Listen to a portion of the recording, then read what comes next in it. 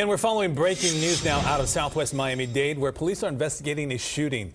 Rescue crews airlifted the victim to the hospital after he was shot at around 5 this morning. Police say the man was riding his bike down South Dixie Highway near 264th Street when someone opened fire.